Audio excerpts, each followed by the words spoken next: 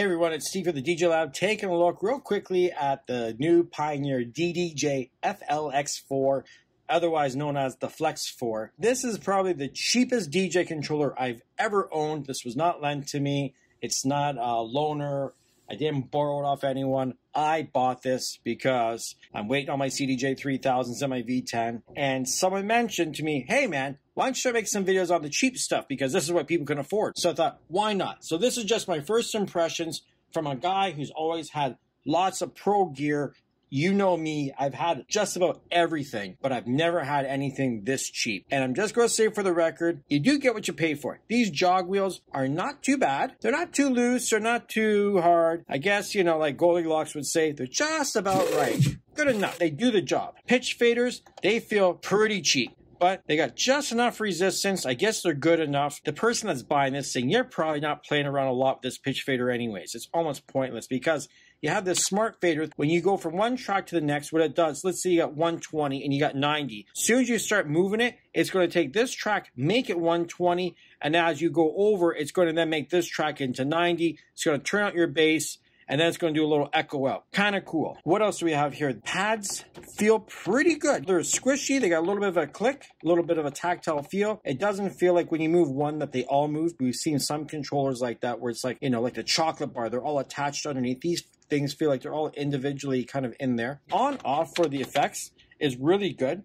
I wish uh, the SC Live 4 had have had a button this good because we all know the SC Live 4 button is uh, horrendous. You never know if it's on or off. It doesn't click nicely. But this one here works just like a DJM 900 Nexus 2.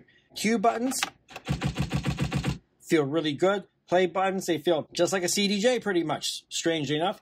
Your in-out buttons are clicky. They feel good. It's interesting they gave you this CDJ kind of feel a little bit. Cue loop and call honest to God, it's strange that we do not have a slip mode button, but yet we get this Cue loop call buttons that I've never used them on a CDJ, and I don't know anyone else who's ever used them on a CDJ, to be honest, either. You got your four beat and your echoes. As soon as you start it, as you can see, it started.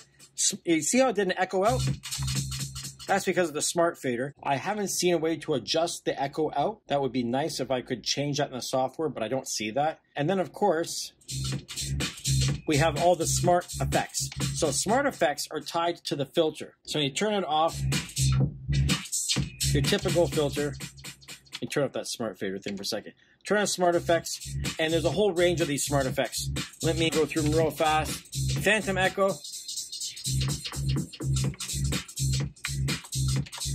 Reflect Echo.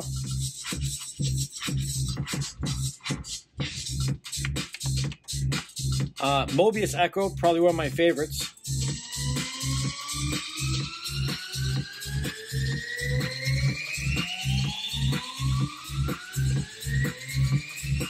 Just keeps going.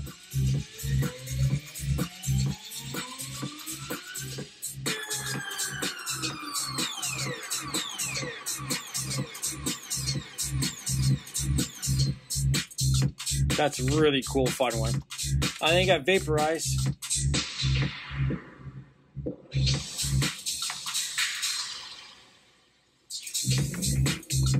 Not too bad. Noise chopper.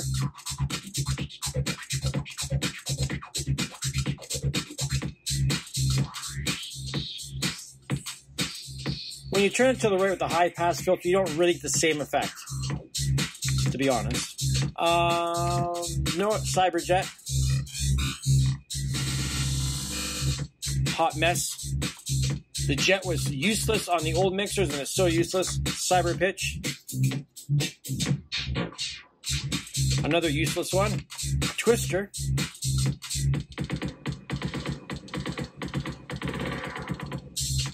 Now that's kind of useful. I've done that on the RMX before.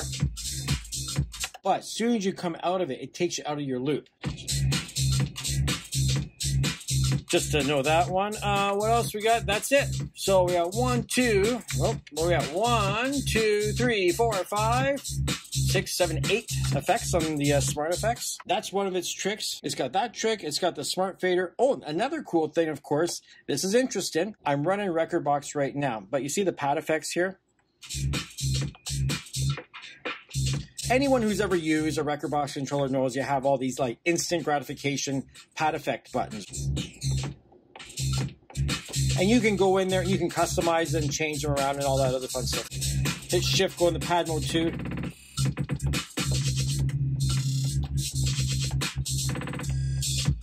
Just to mention, by the way, you got hot cue, pad effects, beat jump, sampler, key shift, beat loop, the pad effects 2, and then the keyboard stuff. But when you're in Serato, guess what? The pad effects actually work in Serato. For the first time I've ever seen a controller that has pad effect control over Serato. I wish I had that with the S11. I wish there'd be a firmware update so on the S11 I could hook it up to Serato and have pad effects because I really do like pad effects. It's the only good thing about Rekordbox, and I'm not really a big fan of using Rekordbox as uh, DJ software. That's just my own personal preference. It's great and all, has lots of features. I just don't use it. That's it. It's got two USB Cs on the back of this thing. Hook it up to your computer. It does have one for power if you need to power it up for any particular reason. And I guess the main reason you would do that is there's an Android and iOS app that's supposed to be coming out it has not come out yet. Who knows when that will be? It says soon. Soon can be tomorrow, soon can be next year. Who knows? But the idea is when your phone is hooked up to this thing here, that you can still power up the deck and your phone and you're not chewing the battery, I guess. But I'm not really sure the point of the whole phone thing based on, I guess maybe when it's hooked up to the phone, you could then hook it up to a Bluetooth speaker I'm sure there's going to be lots of latencies, so I'm not sure if that's a good option or not. Beats me. It's a weird situation. We won't know until we actually run this thing. Other than that, is this a buy? You know what? I bought it. I'll make some videos on it. It's kind of cool for a cheap little controller. Like, you know, it does the job. It looks relatively nice. It doesn't look too much like a toy. The color scheme they did with the orange and everything, like, it feels okay.